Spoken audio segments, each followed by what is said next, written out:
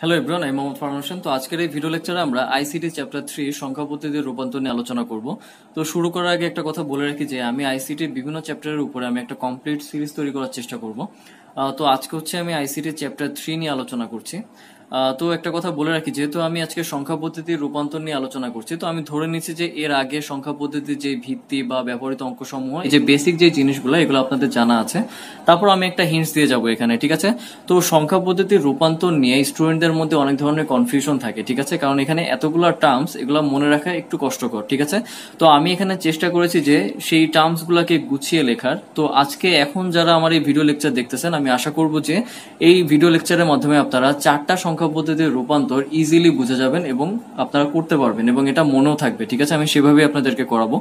এবং বলে রাখি যে এই যে চারটা সংখ্যা পদ্ধতির রূপান্তর, এটা আমরা অনলি একটা নিয়ম ফলো করে করব, ঠিক আছে? এবং সেটা আমি এখানে লিখে রেখেছি। আচ্ছা তো শুরু করার আগে আমরা সেই বেসিক যেই টার্মসগুলো, সেগুলো একটু দেখে নিই। যে দেখুন এখানে সংখ্যা পদ্ধতি, যে বাইনারি সংখ্যা পদ্ধতির ভিত্তিগত টু এবং ব্যবহৃত অঙ্ক কত জিরো এবং হচ্ছে ওয়ান এরপর আসি অক্টাল অক্টালের ভিত্তিগত এইট এবং ব্যবহৃত অঙ্ক সমূহ হচ্ছে জিরো টু সেভেন এরপরে ডেসিমালের ভিত্তিগত টেন ব্যবহৃত অঙ্ক সমূহ জিরো টু নাইন এরপরে হেক্সা ডেসিমাল যার ভিত্তি হচ্ছে সিক্সটিন ব্যবহৃত অঙ্ক সমূহ জিরো টু নাইন এরপর হচ্ছে আপনার এ থেকে এফ যেখানে আমরা নয়ের পরে যেহেতু টেন টেনকে আমরা বলতেছি এ ইলেভেন কে বলতেছি বি টুয়েলভ কে বলতেছি সি থার্টিন কে বলতেছি ডি ফোরটিন কে বলতেছি ই এবং ফিফটিন কে বলতেছি হচ্ছে এফ তো সংখ্যা পদ্ধতির রূপান্তরের জন্য আপনাদেরকে এই ছকটা একদম ভালোভাবে জানা উচিত। একদম মুখস্থ করে ফেলবেন এই ছকটা। মানে এখানে কোনো ভুল হওয়া যাবে না।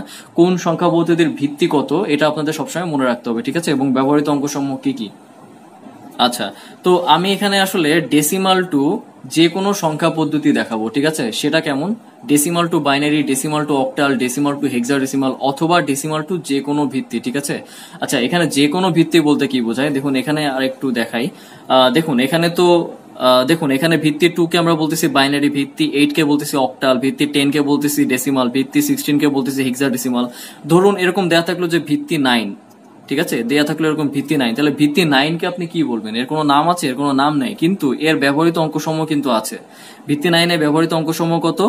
জিরো থেকে এইট। ঠিক আছে? জিরো থেকে এইট।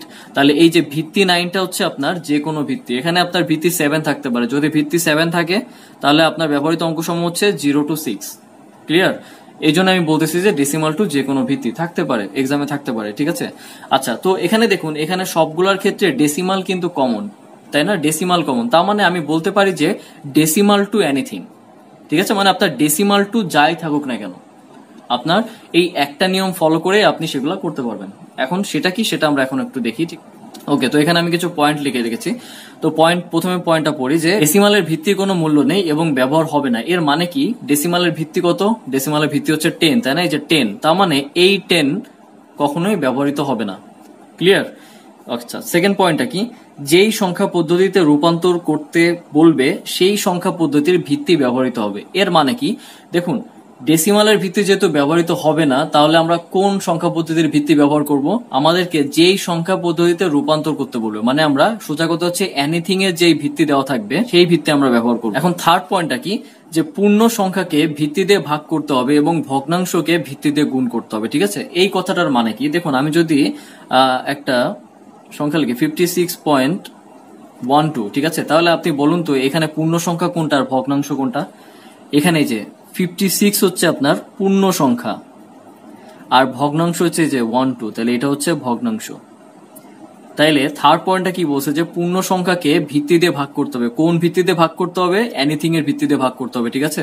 মানে যেই সংখ্যা পদ্ধতিতে আমাদের রূপান্তর করতে বলবে ওকে তাহলে সেটা দিয়ে হচ্ছে আমরা কি করব? এই পূর্ণ সংখ্যাকে ভাগ করব এবং সেই ভিত্তি দিয়ে হচ্ছে আমরা এই যে ভগ্নাংশ, একে হচ্ছে আমরা গুণ করব, ঠিক আছে? এখন কতক্ষণ পর্যন্ত ভাগ করব, কতক্ষণ পর্যন্ত গুণ করব, এটা যখন আমরা একটা এক্সাম্পল করব, তখন আমরা দেখব। তো চলুন, এখন আমরা একটা এক্সাম্পল সলভ করি, ঠিক আছে? তাহলে দেখুন, এই যে ডান সাইডে আমার একটা এক্সাম্পল দেওয়া আছে। এখন এই এক্সাম্পল থেকে বলুন যে এটা আপনার কোন সংখ্যা পদ্ধতির রূপান্তর? তাহলে প্রথমে আমরা কোশ্চেন দেখব। দেখুন, এখানে আছে টেন তাহলে টেন মানে কি? টেন মানে হচ্ছে ডেসিমাল তাই না? তার মানে এখানে যে সংখ্যাটা দেওয়া আছে, এটা হচ্ছে ডেসিমাল একে কিসে রূপান্তর করতে বলতেছে? এখানে কোশ্চেন চিহ্ন দেওয়া আছে। কিসে রূপান্তর করতে বলতেছে? এখানে আমরা ভিত্তি দেখব। এখানে ভিত্তি কত? টু তাহলে টু কোন সংখ্যা পদ্ধতির ভিত্তি? বাইনারি তাই না? তার মানে আমরা বলতে পারি যে এটা হচ্ছে ডেসিমাল টু বাইনারি ঠিক আছে? মানে এখানে ডেসিমাল একটা সংখ্যা দেওয়া আছে, একে বাইনারিতে রূপান্তর করতে বলতেছে। ঠিক আছে? তাহলে একে রূপান্তর করার জন্য আমরা এই যে নিয়মটা মাত্র দেখলাম, সেটাই আমরা এখন এটা ফলো করব। তো চলুন, এখন আমরা নিয়ম একটা একটা করে দেখি। তাহলে এখানে কি বলছে? ডেসিমালের ভিত্তির কোনো মূল্য নেই এবং ব্যবহৃত হবে না। তার মানে আমরা এখানে টেন ব্যবহার করব না, ঠিক আছে? তাহলে কোন সংখ্যা পদ্ধতির ভিত্তি ব্যবহার করব? সেকেন্ড পয়েন্ট যেই সংখ্যা পদ্ধতিতে রূপান্তর করতে বলবে, সেই সংখ্যা পদ্ধতির ভিত্তি ব্যবহৃত হবে। তার মানে এখানে ভিত্তি টু ব্যবহার করব আমরা। এবার হচ্ছে থার্ড পয়েন্ট পূর্ণ সংখ্যাকে ভিত্তি দিয়ে ভাগ করতে হবে। কোন ভিত্তিতে ভাগ করতে হবে? এই যে টু দিয়ে। এখানে পূর্ণ সংখ্যা কোন- কোনটা? টোয়েন্টি হচ্ছে পূর্ণ সংখ্যা তাই না? তাহলে টোয়েন্টি কে হচ্ছে আমরা টু দিয়ে ভাগ করব ঠিক আছে? ওকে এবং ভগ্নাংশকে ভিত্তি দিয়ে গুণ করতে হবে। তাহলে ভগ্নাংশ কোনটা এখানে? এই যে থ্রি এইট তাই না? দশমিক থ্রি এইট এই যে দশমিক থ্রি এইট কে হচ্ছে আমরা টু দিয়ে এখন হচ্ছে গুণ করব। এটা এখন আমরা সলভ করি ওকে তাহলে হচ্ছে পূর্ণ সংখ্যা আগে আমরা পূর্ণ সংখ্যার জন্য করব সেটা হচ্ছে টোয়েন্টি ওকে তাহলে টোয়েন্টি কে আমরা দুই দিয়ে ভাগ দিব, ঠিক আছে? তাহলে এরকম হচ্ছে, তাই না? তাহলে দশ দুগুণা কত? বিশ। তাহলে ভাগফল কত? টেন আর ভাগশেষ কত? শূন্য। তো আমরা ভাগফলটা এখানে লিখব, আর ভাগশেষটা এখানে লিখব, ঠিক আছে? তাহলে ভাগফল কত? টেন ভাগশেষ কত? শূন্য। ওকে তাহলে এখানে যে ভাগফলটা পেলাম, একে আবার দুই দিয়ে ভাগ করব, ঠিক আছে? তাহলে যদি এরকম হয়, তাহলে পাঁচ দুগুণে কত? দশ শূন্য, তাহলে ভাগফল কত? ফাইভ তাহলে ভাগফলটা আমরা এখানে লিখব।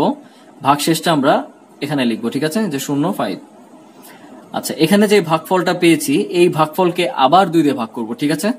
তাহলে দুই দুগুণে কত? চার। ভাগশেষ কত? এক। তাহলে এখানে থাকতেছে টু এখানে থাকতেছে কত? ভাগশেষ? এক।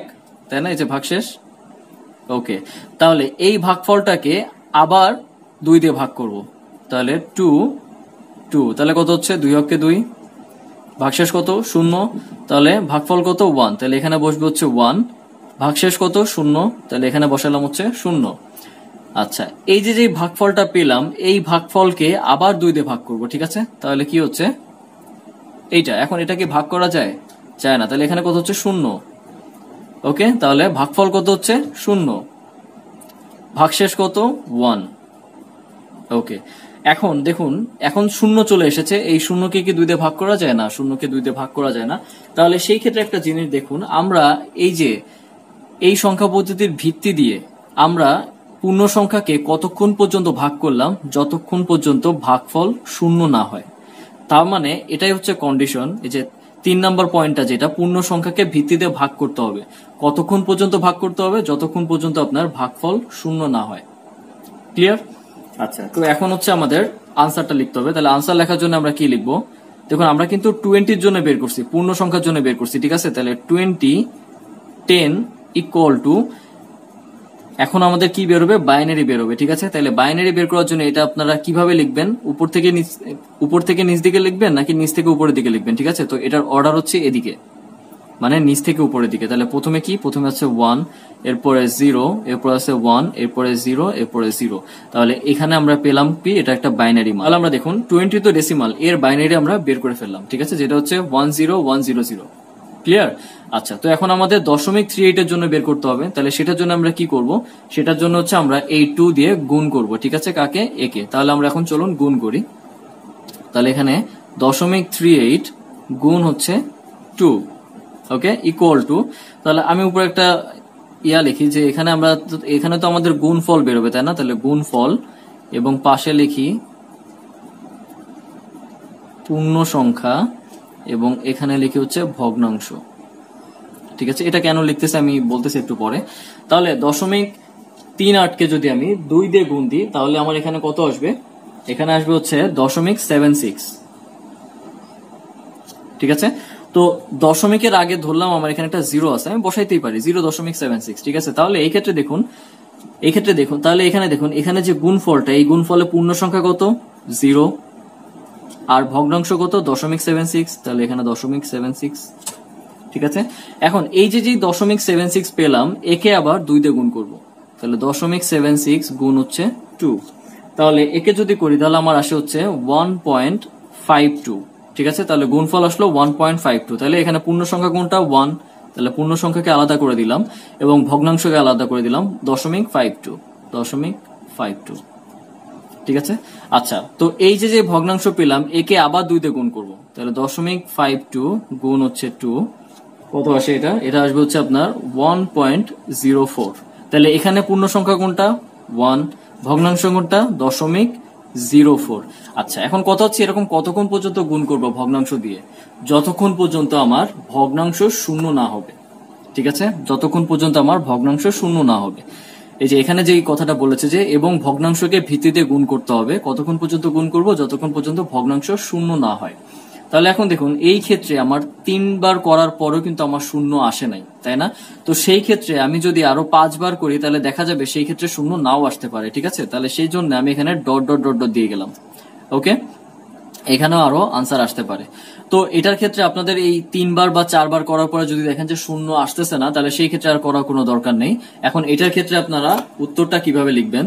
দেখুন, দশমিক three eight ten equal to okay তো এটার অর্ডারটা কি হবে? এটার অর্ডার হচ্ছে উল্টা, ঠিক আছে? এটা হচ্ছে উপর থেকে নিচ থেকে লিখতে হবে, ঠিক আছে? তাহলে কীভাবে লিখব? Zero, one one. এখন খেয়াল করুন, যেহেতু আমার শূন্য আসে নাই ভগ্নাংশ, তাই না? তার মানে পরে আরও অনেকবার করা যায়। তাহলে সেই ক্ষেত্রে আমরা এখানে ডট ডট ডট ডট দিয়ে যাব, ঠিক আছে? তাহলে এটা আমরা কিসের ভ্যালু পেলাম? বাইনারি ভ্যালু ঠিক আছে? তাহলে এখানে লিখলাম টু তো এখানে একটা জিনিস খেয়াল করুন, দেখুন, এখানে আমরা যে আনসারটা পাচ্ছি সেটা কিন্তু আমরা পূর্ণ সংখ্যা থেকে পাচ্ছি, ঠিক আছে? আমরা এখানে ভিত্তিতে গুণ করতেছি, দেখুন পূর্ণ সংখ্যা এবং ভগ্নাংশ আলাদা করে ফেলেছি, তাই না? তো সেই ক্ষেত্রে আমাদের যে আনসারটা সেটা কিন্তু আমরা পূর্ণ সংখ্যা থেকে পাচ্ছি। তো সিমিলারলি আমরা যখন ভিত্তিতে ভাগ করতেছি, তো এখানে আমরা আনসারটা কোথা থেকে পাচ্ছি? আমরা আনসারটা কিন্তু ভাগশেষ থেকে পাচ্ছি, ঠিক আছে? এগুলা, এখানে কিন্তু সব এপাশে যা আছে সবগুলো কিন্তু ভাগশেষ, ঠিক আছে? তো এটা আমাদের মাথায় রাখতে হবে। তো এখন আমাদের হচ্ছে পুরো অ্যান্সারটা আমরা এখন কীভাবে লিখব? পুরো অ্যান্সারটা লিখব এভাবে। যে টোয়েন্টি দশমিক, আমাদের কত ছিল? Three eight three eight ten equal to তাহলে টোয়েন্টির জন্য আমরা কত পেয়েছি? One zero one zero zero তাই না? তাহলে one zero one zero zero দশমিক।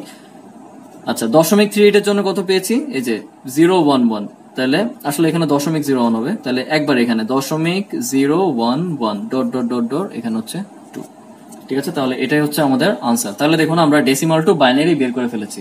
ঠিক আছে? তো এরপর যদি আপনাদের দেওয়া থাকে যে ডেসিমাল টু অক্টাল তাহলে আপনারা কীভাবে করবেন? একদম সেম নিয়মে, ঠিক আছে? আমি এটা যেভাবে করেছি, একদম সেম নিয়ম। এরপর যদি ডেসিমাল টু হেক্সা ডেসিমাল থাকে, একদম সেম নিয়ম। যদি ডেসিমাল টু যে কোনো ভিত্তি থাকে, একদম সেম নিয়ম। আপনারা জাস্ট এই ভিত্তিটা খেয়াল করবেন। এই ভিত্তি দিয়ে ভাগ করবেন, গুণ করবেন। যদি এরকম মনে হয় যে এই ভিত্তিটা কি, আপনাদের মনে নাই, ঠিক আছে? এটা বাইনারি না অক্টাল নাকি, এটা মনে নাই মনে থাকার কোনো দরকার নেই। আপনারা জাস্ট এই ফর্মুলাটা মনে রাখবেন, এটা যে ডেসিমাল টু এনিথিং এর মধ্যে পড়তেছে কিনা। এই ফর্মুলাটা মনে রেখে জাস্ট এটা দিয়ে ভাগ করে দিবেন, গুণ করে দিবেন, ঠিক আছে? যদিও এটা প্রপার ওয়ে না, আপনাদের অবশ্যই জানা উচিত যে এখানে যে ভিত্তিটা আছে, এই ভিত্তির সংখ্যা পদ্ধতির নামটা কি আসলে, ঠিক আছে?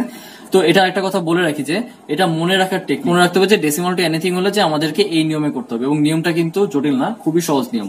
তো সেই ক্ষেত্রে আরেকটা কথা বলে রাখি যে মনে রাখার সুবিধা, দেখুন ডেসিমালের ডেসিমাল টু এনিথিং ঠিক আছে? প্রথমে তো আপনারা অবশ্যই সংখ্যা পদ্ধতি দেখে বোঝা যাবেন যে এখানে দেখে বোঝা যাবেন যে এটা ডেসিমাল ঠিক আছে?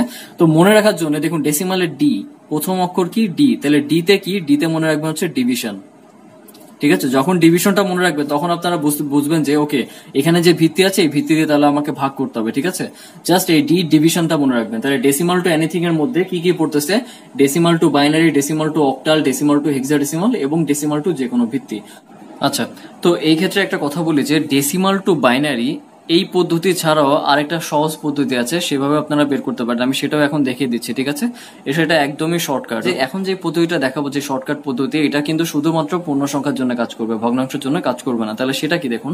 এখানে আমরা লিখব যে প্রথমে ওয়ান ওয়ানের ডাবল হচ্ছে টু টু এর ডাবল হচ্ছে ফোর ফোর এর ডাবল হচ্ছে এইট এইট এর ডাবল হচ্ছে সিক্সটিন ঠিক আছে? ওকে তো এখানে আমার কত আছে? পূর্ণ সংখ্যা টোয়েন্টি ঠিক আছে? তাহলে এটা তাহলে এটা লেখার নিয়ম কি দেখুন? ওয়ান থেকে শুরু করবেন ওয়ানের ডাবল কত? টু টু ডাবল হচ্ছে ফোর ফোর এর ডাবল হচ্ছে এইট এইট এর ডাবল হচ্ছে সিক্সটিন ঠিক আছে? আচ্ছা তো এটা কীভাবে বের করবেন? দেখুন, এখানে পূর্ণ সংখ্যা হচ্ছে টোয়েন্টি এখন এই সংখ্যাগুলোর মধ্যে কোন কোন সংখ্যা যোগ করলে আপনার টোয়েন্টি হয়?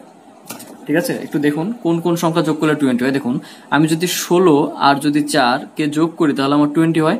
তাহলে ষোলো এবং চারের নিচে আমি ওয়ান লিখব। ঠিক আছে? এবং মাঝখানে, এই ষোলো থেকে একের মাঝখানে যারা যারা আছে, সবগুলো আমি জিরো করে দিব। ঠিক আছে? তাহলে দেখুন তো, আমি যেই আনসারটা পেয়েছিলাম টোয়েন্টির জন্য, সেটা আর এটা ঠিক আছে কিনা? এখানে কি পেলাম? One zero one zero zero তাহলে দেখুন one zero one zero zero আচ্ছা যদি বলতাম যে এখানে টোয়েন্টি ফোর আছে, তাহলে সেই ক্ষেত্রে কীভাবে বের করতেন? সেই ক্ষেত্রে এইভাবে বের করা যায়। এখানে কোন কোন সংখ্যা যোগ করলে টোয়েন্টি ফোর হয়?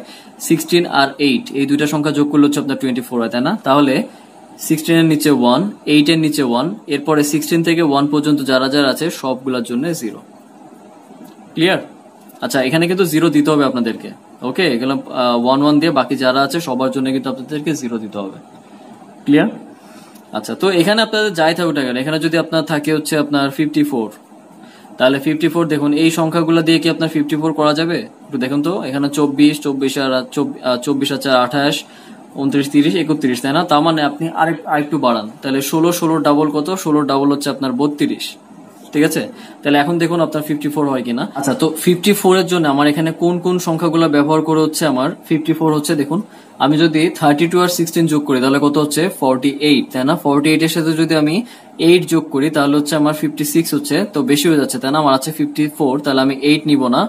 তাহলে আমি যদি ফোর নিই তাহলে ফর্টি এইট এর সাথে যদি আমি ফোর কে যোগ করি তাহলে হচ্ছে আমার ফিফটি টু ফিফটি টুর সাথে যদি আমি টু যোগ করি, তাহলে হচ্ছে আমার ফিফটি ফোর তাহলে ফিফটি ফোর এর জন্য আমার এখানে আনসারটা কত হবে? থার্টি টুর নিচে ওয়ান হবে সিক্সটির নিচে ওয়ান হবে এইটের নিচে জিরো হবে ফোর নিচে ওয়ান হবে টুর নিচে ওয়ান হবে ওয়ানের নিচে জিরো হবে। ক্লিয়ার নেক্সট ভিডিওতে হচ্ছে আমি বাকি যে এক্সাম্পলগুলো আছে, সেগুলো নিয়ে আলোচনা করব এবং সেখানে হচ্ছে আমরা decimal to octal decimal to hexadecimal decimal to যে কোনো ভিত্তি আমরা জাস্ট এই একটা নিয়ম ফলো করেই করব। তো এইখানেই দেখাইতাম, কিন্তু এখানে হচ্ছে ভিডিও লেন্থ অনেক বেশি হয়ে যাবে। তো সেই জন্য হচ্ছে আমি নেক্সট ভিডিওতে আমি এগুলো দেখাবো। তো আশা করি আপনারা সবাই বুঝেছেন। এরপর যদি আপনাদের কোনো প্রবলেম থেকে থাকে, আপনারা আমাকে মেল করতে পারেন। আমি অবশ্যই মেল ব্যাক করার চেষ্টা করব। ধন্যবাদ সবাইকে।